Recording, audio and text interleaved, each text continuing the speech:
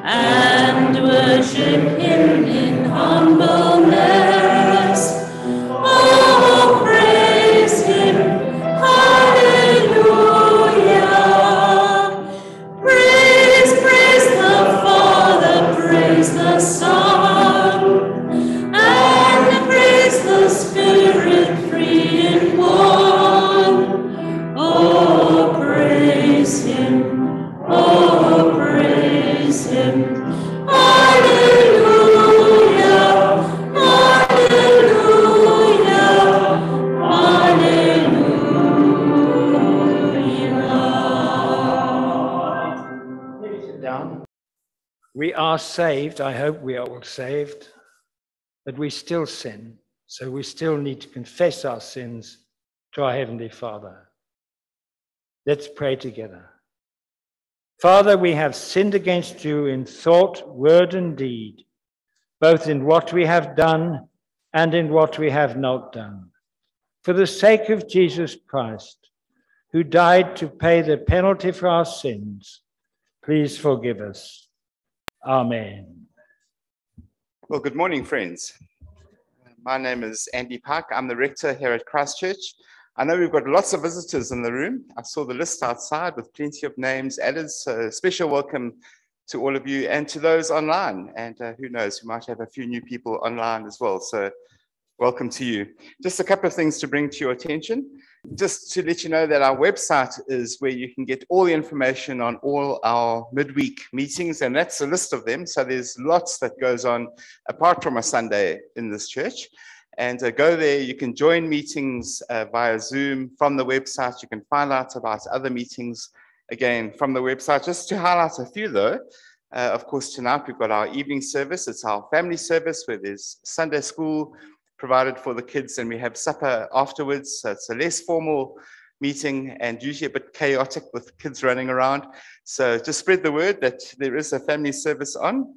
And then uh, once every six weeks or so, it's our turn to host the Amberfield service. Uh, and that's coming up uh, this week on Wednesday at 11. So if you're at Amberfield, you can also invite a friend, go along to the chapel, and uh, someone from this church will be running that service uh, for this Wednesday. And then Richard, after his little series on grief and sorrow that he preached here over the last few weeks, there's been quite a big demand to uh, have a meeting where people can share and offload and ask questions and, and be a little bit more personal about how to deal with grief. And I know Richard has already run one session like that. And this week, there's going to be another session connected to that, and that's going to be with Brian Ash, who is a financial planner and financial advisor. And he's going to be coming in to speak about dealing with estates and dealing with wills. So that's really interesting. I've actually heard him speak about this before and was hugely helpful.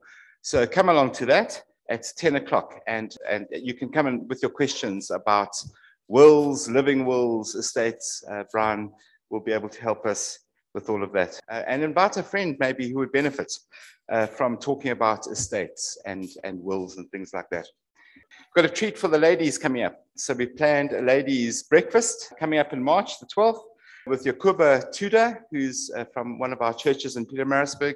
She's a wonderful communicator and a really, really good Bible teacher. So she'll be coming along uh, to speak to our ladies. So again, spread the word. I know there were people asking this morning, can we pay now? And the answer is yes. Tish, put your hand up.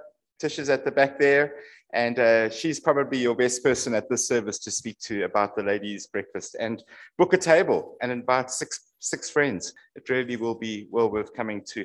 And by the way, I know that there's a list outside asking for helpers. If you're able to help on that morning, there's a list there for you to jot your name down and say that you can do that you can help out there.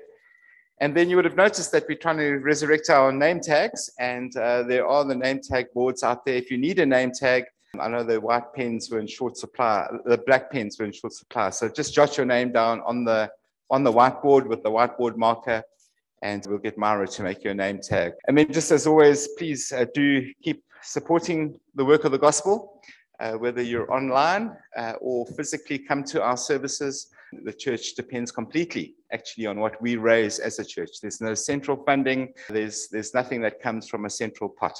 Each church is responsible, in our denomination anyway, of uh, doing their own work. So just to bear that in mind. Right, once a month we focus on a particular missionary in this church. We support about 11 or 12 missionaries or mission organizations, and we try to spotlight one a month so that we can give you a little bit more information about them. This month we are remembering Rod and Glenda Thomas, who work in Japan, um, and they've been there for many, many years and doing amazing work. And they've sent us a little video for us to play to you a message from them from Japan. So we're going to try and see if we can test the technology. Hello, Hello. uh, Rod and Glenda from uh, Northeast Japan. And uh, it's nice to join you this morning. And we pray that God will richly bless you uh, in your time together as you worship Him. Uh, we're in uh, Northeast Japan, in a place called Sendai, and we're uh, evangelizing the area around about here, and uh, at the same time pastoring a small church in the um, in the city of Sendai, uh, trying to get it to independence and trying to encourage the believers uh, there. So I'm just going to show you some pics now and uh, so, some videos to uh, hopefully give you a little taste of what we've been doing recently. And uh, thank you for your prayers, thank you for your support, and God you. will richly bless you. Thank you very much.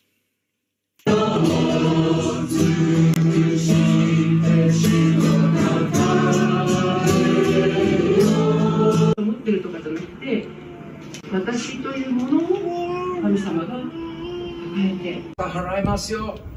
彼は全部しました。それは神の愛です。ね？それは神の愛です。私たち人間はその命令を。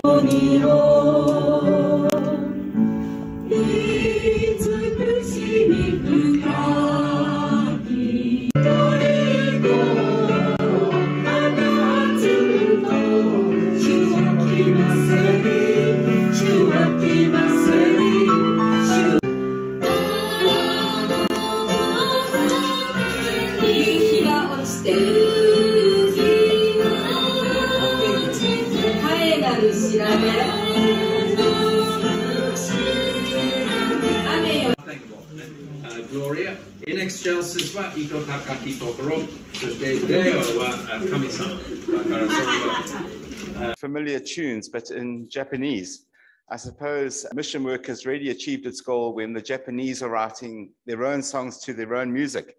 That would be fascinating here. But um, doing great work. And so do keep the Thomases in your prayers. Some of what you give monthly goes straight to them as well. We have a missions committee who are responsible for determining who gets what and which missionaries uh, we support. So come and chat to, actually Selwyn is on that committee. You can chat to Selwyn about anything missions related after this. We're going to stand and sing a very great song, uh, In Christ Alone, one of the more modern hymns. Stand and think about the words as we sing it together.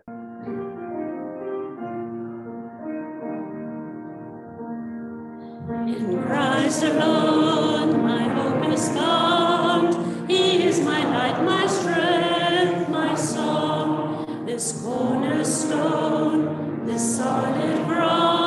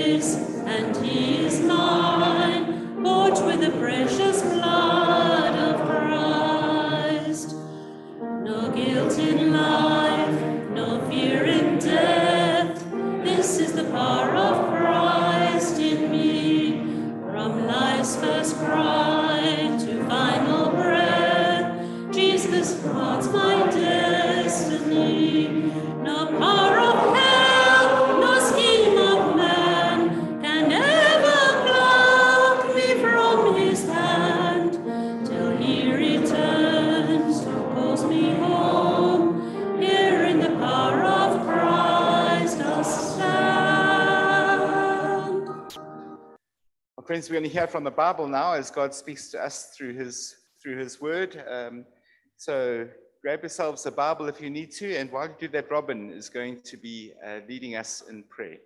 Morning, folks. Good to see you all again. Let's bow in prayer together.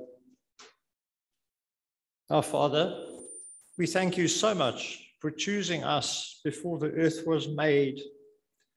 We thank you for including us in your wonderful plan of redemption, the forgiveness of sins, for including us in your forever family, and for all that has been accomplished by your dear Son, our Savior, Jesus.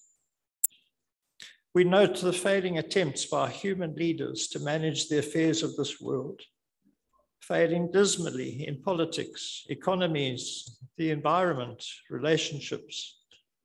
Forgive us when we become downcast and help us to trust you fully. Help us to look forward expectantly to the return of the Lord Jesus with his glory and authority when every knee will bow to him. But we thank you for the freedom of worship that we enjoy in this country, even though many are still not able to meet physically at present. We pray especially for those, both in the church and in our families, who are growing cold in their souls. Please rekindle their faith and desire for Christian fellowship. We pray especially for those whom we know who are indifferent to the gospel.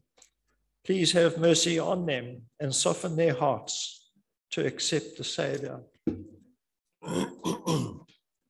we pray for your support and encouragement for those who are currently undergoing difficult times in health or financial, loss of loved ones, or loss of independence. For those who are struggling to find suitable employment, we pray for the young folk who've recently started their university year. Keep them safe physically and spiritually as they are exposed to unhealthy ideas. We pray for our country, for healing of the racial divides and hatred.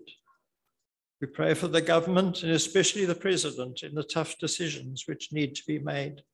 Grant him wisdom and authority to make the decisions without fear or favor. Please protect the judicial system, which is under attack, and give wisdom to the president in the appointment of a new chief justice. Grant the government of the country and our municipality the will and resources to rectify the neglect and abuses of the recent past. We pray for missionaries who are willing to sacrifice their personal lives and comforts in your service. Protect them and encourage them, especially in areas of opposition to the gospel and possible physical danger. Father, we pray for those who lead in our denomination and in the church as a whole. Keep them faithful and use their preaching and teaching effectively through the Holy Spirit. Guide those churches in need of new leadership and send them the appropriate men at the right time. We pray for our wardens and council for guidance in handling the matters of our church.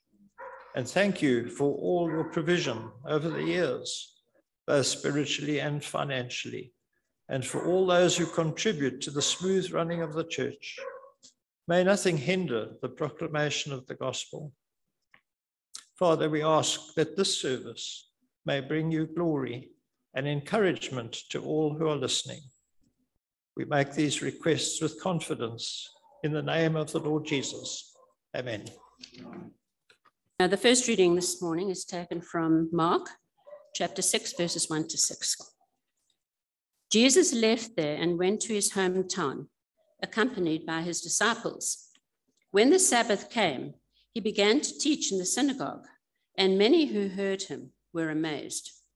Where did this man get these things? They asked. What's this wisdom that has been given him? What are these remarkable miracles he is performing? Isn't this the carpenter? Isn't this Mary's son and the brother of James, Joseph, Judas, and Simon. Aren't his sisters here with us? And they took offense at him. Jesus said to them, A prophet is not without honor except in his own town, among his relatives, and in his own home. He could not do any miracles there except lay his hands on a few sick people and heal them. He was amazed at their lack of faith. Thanks be to God for the reading of his word. Hmm. Reading continues in Mark's Gospel, chapter 6, and from verse 6 to 13. Then Jesus went around teaching from village to village, calling the twelve to him. He began to send them out two by two and gave them authority over impure spirits. These were his instructions Take nothing for the journey except a staff no bread, no bag, no money in your belts. Wear sandals, but do not take an extra shirt. Whenever you enter a house, stay there until you leave the town. And if any place will not welcome you or listen to you, leave that place and shake the dust off your feet as a testimony against them. They went out and preached that people should repent. They drove out many demons and anointed with oil many who were ill and healed them. This is the word of the Lord. Well, friends, we get back to our series in Mark that we've been working on for a little while now. And we're in chapter six uh, Meet the King, is the title I've given our series. And uh, we have done that, haven't we? We've been uh, meeting Jesus face to face, we've been shadowing him as he's walked around Galilee and Nazareth and uh, he comes back to his hometown, Nazareth, uh, today, and we see what how he's treated there. And I've entitled our sermon today, uh, "The Missionary King." The Missionary King. Well, what a time South Africa has been going through for the last uh, year or two. Well, actually, quite a bit longer than that, but especially the last year or two. Quite apart from COVID, which has been bad enough, the factionalism in the ANC is stronger than ever. Then there was the looting. And then there's been the eye-watering revelations of the State uh, Commission of Ca- Capture Commission, where corruption on an industrial scale has, uh, has come to light. Though our president has been praised for his calming influence, you have to ask where is the moral leadership? Where is the spiritual and moral guidance that we need for our lives and our nation, and indeed our whole world? Where is leadership that we can actually trust? A leadership that we know is good for us and good for our nation, and that we're happy to submit to. Well, Robin reflected on this very question in his prayer this morning, didn't he?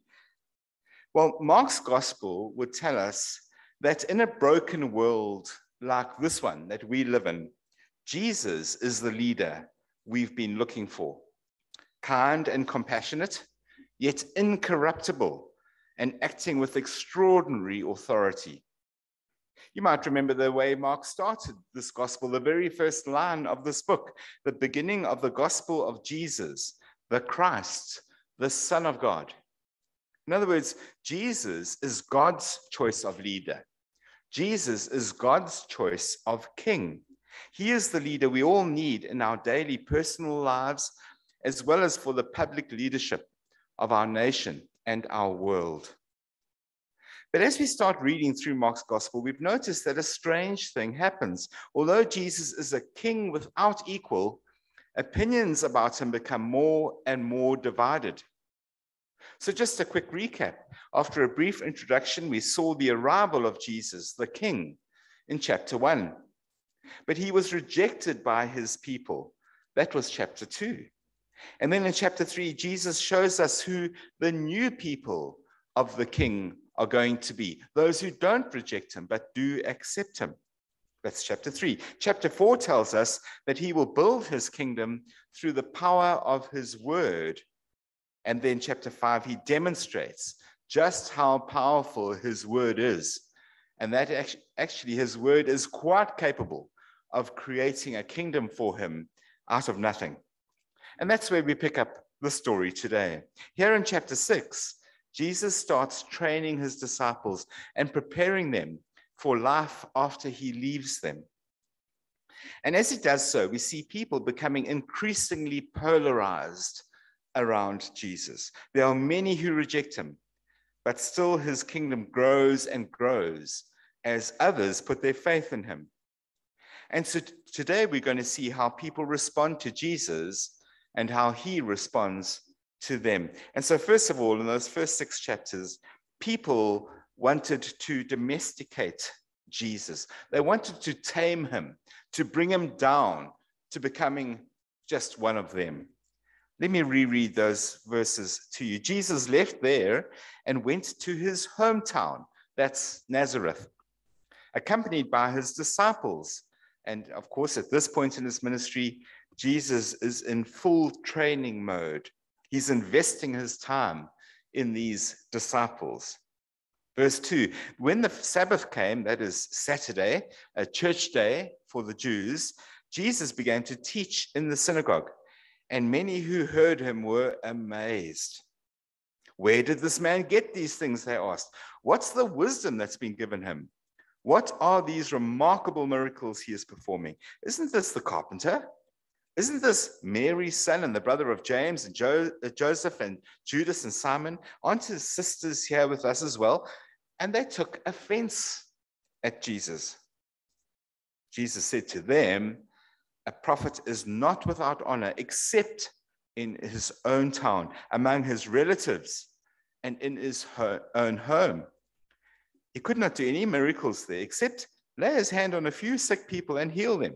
He was amazed at their lack of faith. So Jesus returns to his hometown, to Nazareth, and he heads to the synagogue and he starts teaching. And people are amazed at what they hear because he spoke as one who had an authority all of his own. We read that actually earlier in chapter one as well. People were amazed because he spoke with authority. Jesus was quite happy to say that all the prophets and writers of the Old Testament were actually talking about him a lowly artisan, the illegitimate son of a simple peasant girl from Nazareth.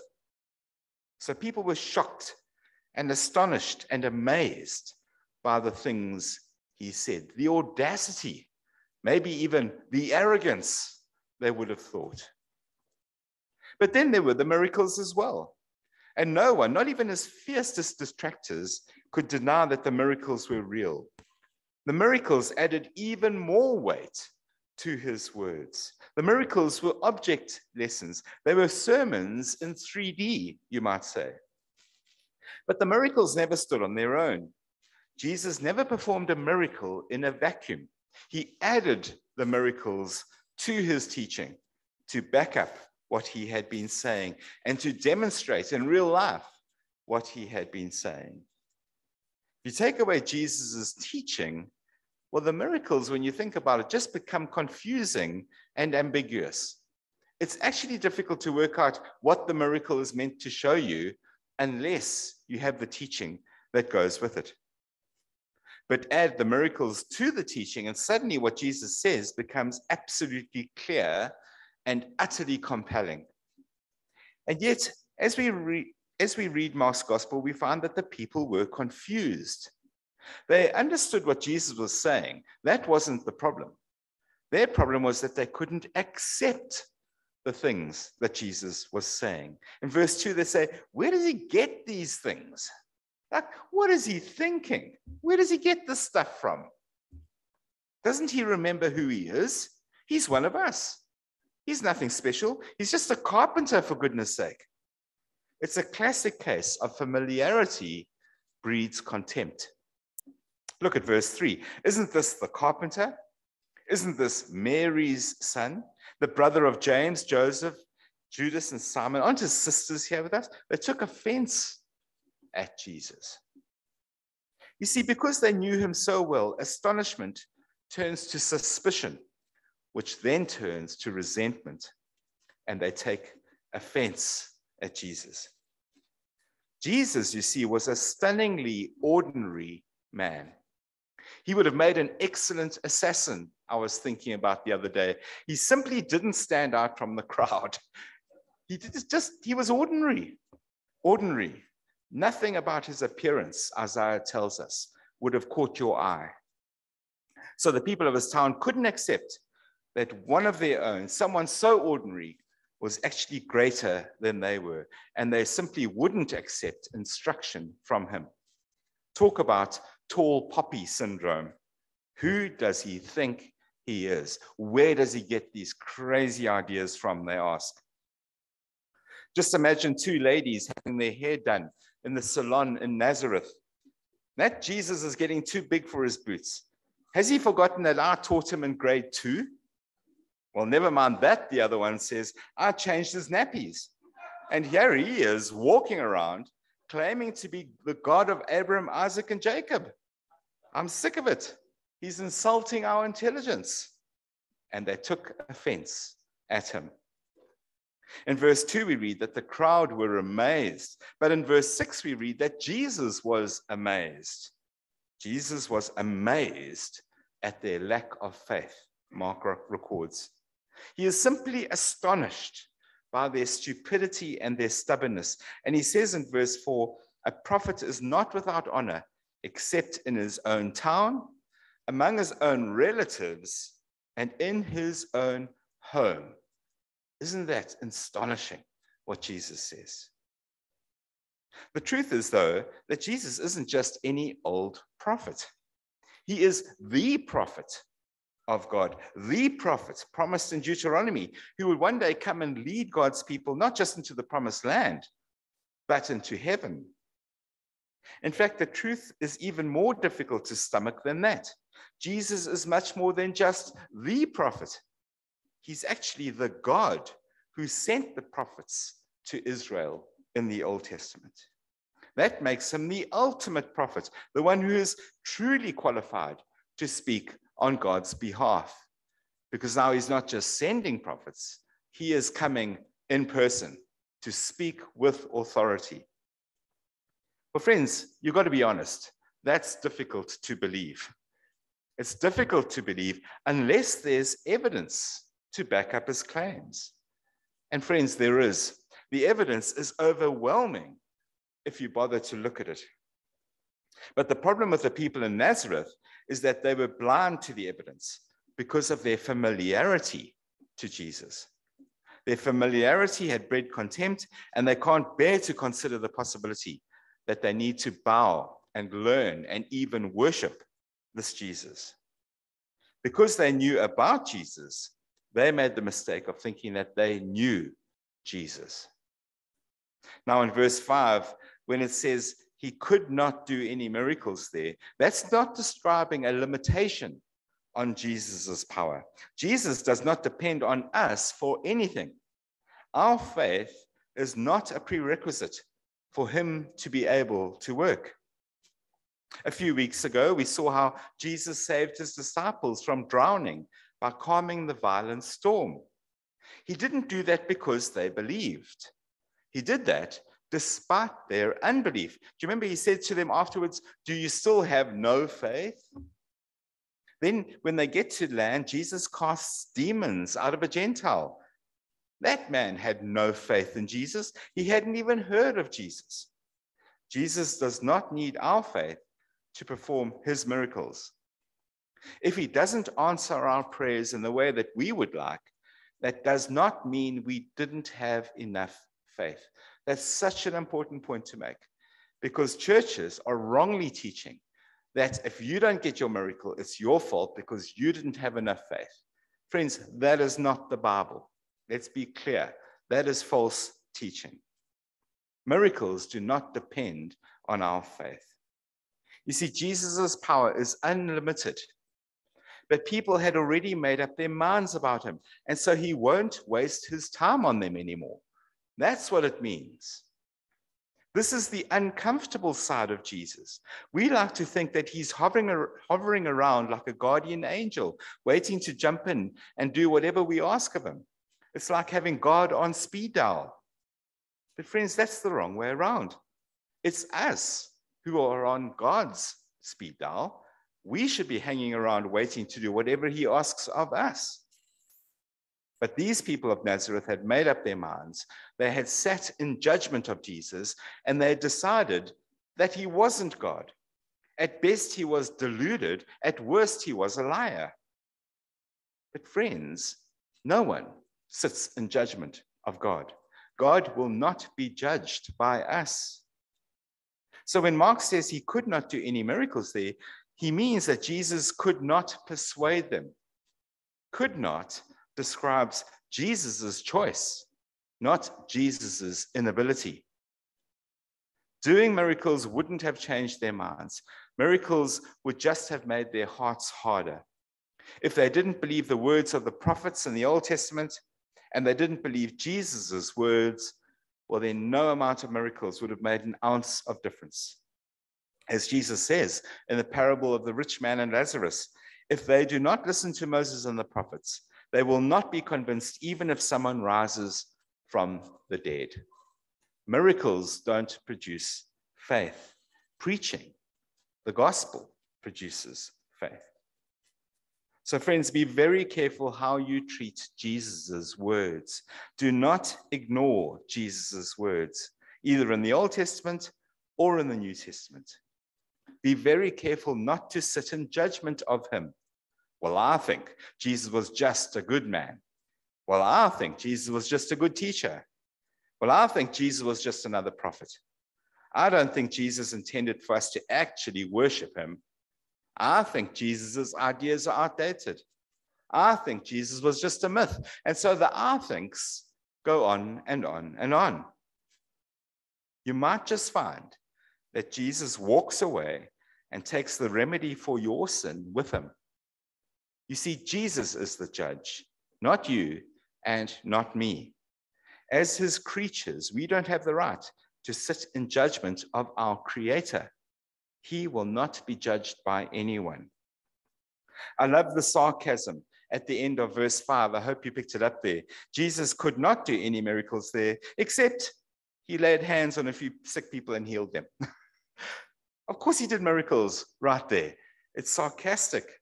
It's like Mark is saying these proud, arrogant people said Jesus was a nobody. And so he quietly emptied a hospital on the way out of town. he left that town with a living proof that they had made a big mistake. There were all the healed people walking around them as testimony to who Jesus really was. So people wanted to domesticate Jesus, to tame him, to reduce him to just being one of them. And friends, if we're honest, we try and do the same thing all the time. In this country, at least, there are still many people who are happy to be respectful towards God. We're even happy to have Jesus make a guest appearance every Christmas, so long as he minds his own business and stays in the manger where he, where he is utterly harmless. But start talking about Jesus as though he is actually the God who created you and that you should be worshiping and serving him. Well, suddenly everything changes. Suddenly, interestingly, tolerance and open mindedness goes out the window and you see what people really think about God. People wanted to domesticate Jesus in the first century, and people want to domesticate Jesus now. We don't want him to have any claims or make any demands on our lives so that we can carry on living the way we want to carry on living. So, first, people wanted to domesticate Jesus, and we all still want to do that. But secondly, Jesus responds by delegating his authority to his apostles. He deputizes and then sends out the 12 apostles. Have a look again at verse 6. Then Jesus went around teaching from village to village. And calling the 12 to him, he began to send them out two by two and gave them authority over impure spirits. So, undeterred by the rejection that Jesus had experienced by his family and his hometown, Jesus goes on mission to the surrounding towns and villages.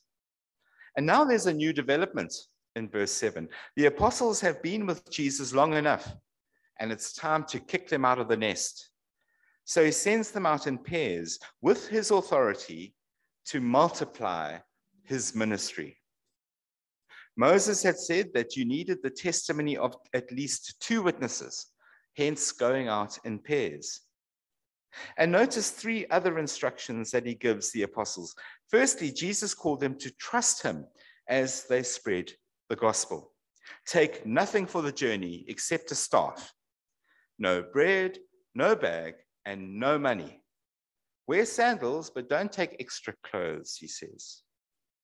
In other words, Jesus made sure that they would be utterly dependent on the grace of God working through the generosity and the hospitality of his people.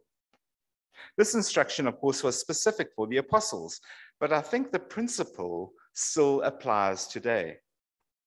As a church, we can plan and budget all we like, but ultimately, gospel ministry depends on the grace of God working through the generosity and the hospitality of his people.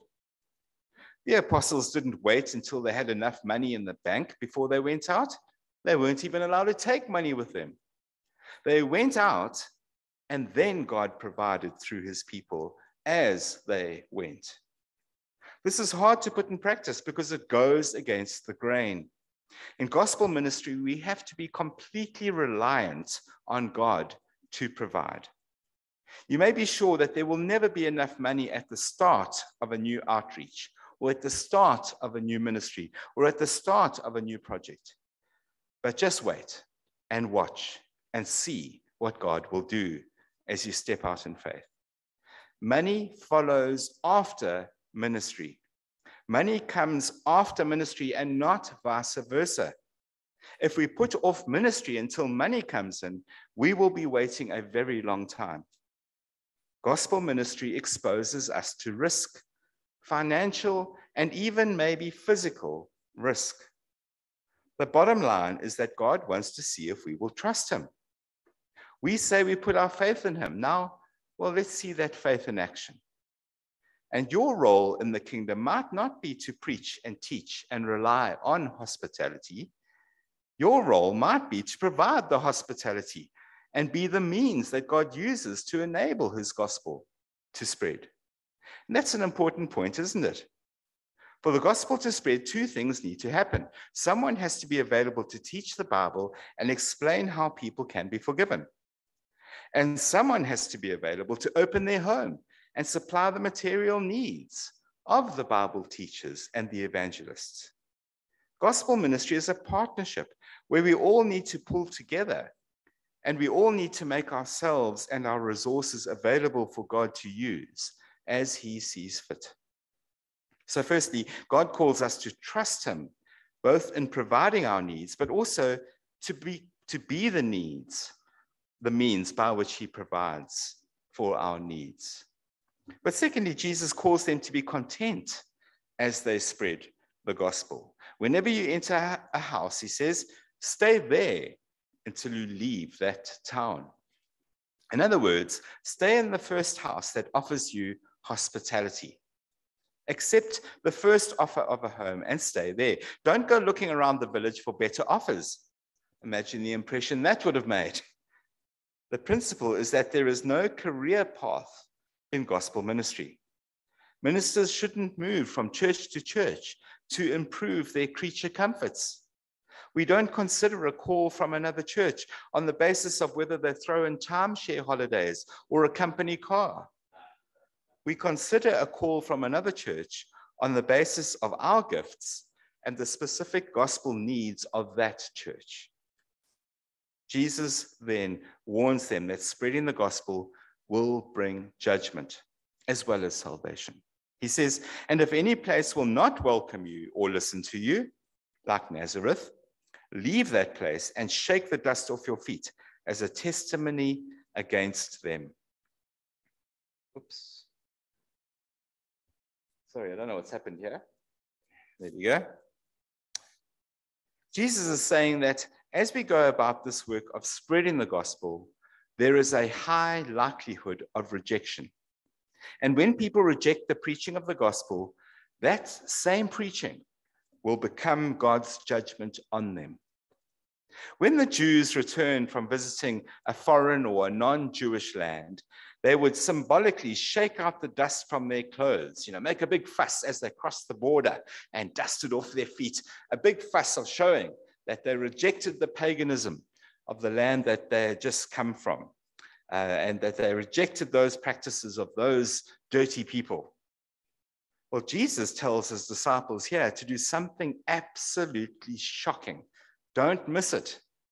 He tells them to do something you would never do to another Jew shake the dust off your clothes when you walk out of their house. Can you see the impact? It was the ultimate insult. You were basically saying that your host was unclean, no better than a Gentile, and didn't even deserve to call themselves a Jew. It was a visual demonstration of God's judgment on that person and that house. Now, this isn't something we would do today, of course, because we are not apostles, but the message is very clear. If you reject the apostolic message that Jesus is the Lord, well, then you're inviting God's judgment on yourself and your home and your family. As Paul says in Corinthians, but thanks be to God who uses us to spread the aroma of the knowledge of Jesus everywhere. For we are to God the pleasing aroma of Christ among those who are being saved and those who are perishing. To the one, we are an aroma that brings death. To the other, we are an aroma that brings life.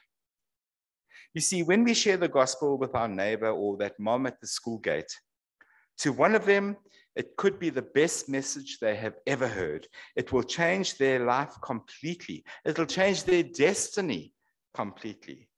To them, the gospel smells sweet and beautiful, and you become the aroma of life to them, says Paul. But to the other, that same gospel will be insulting and offensive, and they will hate it. And to them, it will, it will literally stink, says Paul. And you will become the aroma of death to them. The gospel saves and gives life to those who embrace it, and people will love you for telling them. But God also uses that same gospel to confirm his judgment on those who reject him, and they will hate you for telling them. Well, let me wrap up this morning. Oops, I missed out that slide, sorry. Let me wrap up. Jesus is a king with a mission. Maybe we should say he is the king on a mission. His plan is to create a kingdom for himself by sending out his followers to preach the gospel. Well, that's his plan. But is it a good plan? Have a look at verse 12 as we end. The 12 apostles went out and preached that people should repent. They drove out many demons and anointed many sick people with oil and healed them. Does that sound familiar? Does that ring any bells? Well, apart from anointing people with oil in order to heal them, the apostles are doing exactly what Jesus had been doing all along. By the way, Jesus never anointed anyone with oil, but he instructs the apostles to use oil. I think that's just a reminder to them uh, that if people are healed, it is Jesus doing the healing through them. It is not them who have suddenly got power in their fingers. But the result of Jesus' strategy, we read, is that his ministry multiplied.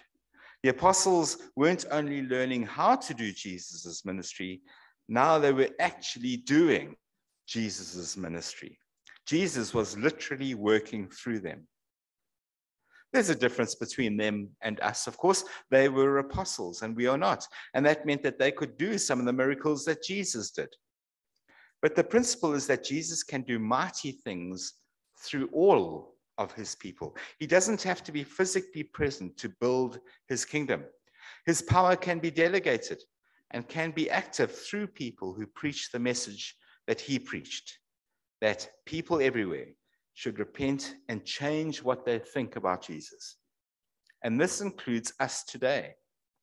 Though Jesus is physically in heaven at the moment, running the world and praying for us, nevertheless, his spirit, the Holy Spirit, is working through his people, continuing his ministry, changing people's lives and drawing them into his kingdom through the preaching of the gospel. That means that as I teach you the words of the Bible, I teach you with Jesus' authority delegated to me. And as you explain the words of the Bible to your friends, you are teaching them with Jesus' authority delegated to you. And that means that as you share the gospel, you can expect to watch God changing people's lives. And sadly, you can also expect some people to take offense as they continue in their rejection of Jesus as their king. So, will you join our missionary king on mission? Boldly telling the world that God has made Jesus both Lord and King, even in the face of opposition.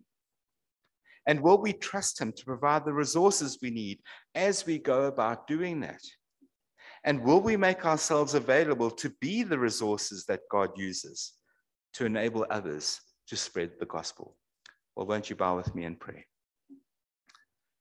Well, Father, we thank you for this gospel message that brings life and uh, results in forgiveness and salvation and adoption and redemption. What a precious message, um, a treasure. Uh, and you have entrusted it to people like us, jars of clay, fragile, cracked, frail. Uh, and Lord, give us the power and the strength and the resources we need and the boldness to take this precious, precious message that offers salvation out into the world as people bow the knee to their King, Jesus Christ our Lord. Amen. Well, let's stand together and sing a very appropriate song, My Jesus, My Savior.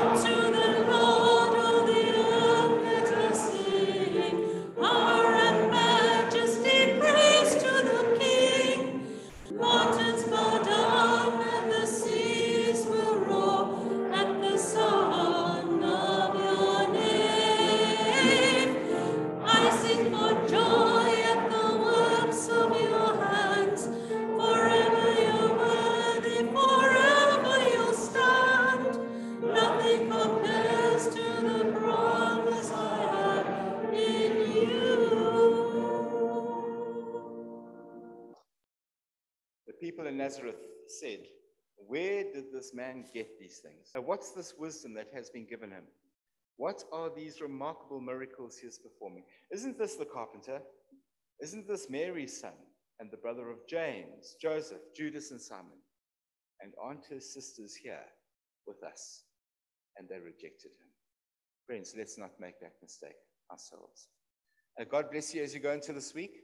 I hope it's a great week. And uh, as we serve the King and take opportunities that He's given us to share this wonderful gospel about His Son. Thank you very much for joining us today.